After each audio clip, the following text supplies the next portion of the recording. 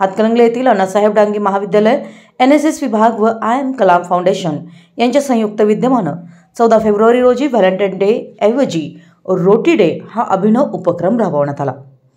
सध्या तरुणाई फेब्रुवारी महिन्यातील चौदा तारीख म्हणजे व्हॅलेंटाईन डे साजरी करण्याकडे आकर्षित होती आहे परंतु हातकणंगलेतील सुज्ञ युवकांनी एकत्रित येत दोन हजार अठरापासून अण्णासाहेब डांगे महाविद्यालयात चौदा फेब्रुवारी रोजी रोटी डे हा उपक्रम राबवत आहेत.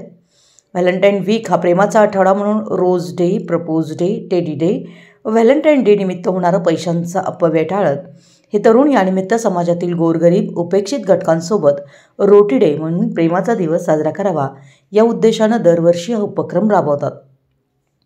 यावर्षीही आयोजकांनी डांगे महाविद्यालयात रोटी डे निमित्तानं महाविद्यालय व परिसरातून अन्नधान्य कडधान्य फळे सीलबंद खाद्यपदार्थ कपडे साड्या इत्यादी वस्तूरूपी मदत संकलित करण्याविषयी आवाहन केलं होतं. तेरा फेब्रुवारीपर्यंत या वस्तू महाविद्यालयात संकलित करण्यात आल्या. यासाठी अनेकांनी उत्स्फूर्त प्रतिसाद देत मोठ्या प्रमाणात मदत पोहोचवली. यावर्षी चौदा फेब्रुवारी रोजी रोटी डेनिमित्त वृद्धाश्रमातील आश्रित वृद्धांना महाविद्यालयात आमंत्रित करण्यात आलं. सकाळी दहा वाजता त्यांचा महाविद्यालयात यथोचित सत्कार करत उत्साहानं स्वागत करण्यात आलं. आयम कलाम फाउंडेशनचे अध्यक्ष अनिस मुजावर यांनी पाहुण्यांची ओळख करून दिली. रोटी डे संकल्पनेविषयी सविस्तर माहिती देत मागील सहा वर्षाचा आढावा मांडला. महाविद्यालयाची शैक्षणिक उंची ही विद्यार्थ्यांमधील संस्कार व त्यांच्या वागणुकीतून प्रदर्शित होत असते. आपले विद्यार्थी रोटेडीसारखे अभिनव उपक्रम समाजापुढे नेऊन इतर तरुणांसमोर आदर्श निर्माण करतायत असं मत यावेळी प्राध्यापक डॉक्टर मोहन सावंत सर यांनी मांडलं.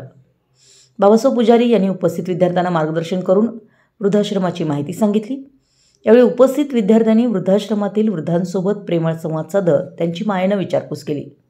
महाविद्यालयाच्या प्राचार्य डॉक्टर योजना जुगळे मॅडम यांनी रोटीडे या संकल्पनेबद्दल आयोजकांचे आभार मानले. महाविद्यालयाचे विद्यार्थी सामाजिक भान ठेवून गोरगरीब गरजूंसाठी निराधार लोकांसाठी रोटीडेच्या माध्यमातून मदतकार्य पोहोचवत आहेत याबद्दल समाधान व्यक्त केलं. प्राध्यापक काजल मोरे मॅडम प्राध्यापक हेमांगी वडेर यांनी सूत्रसंचालन केलं. दैनंदिन जीवनातील जीवनावश्यक वस्तू संकलित अन्नधान्य कड कडधान्य कपडे इत्यादी जानकी वृद्धाश्रमला हस्तांतरित केलं.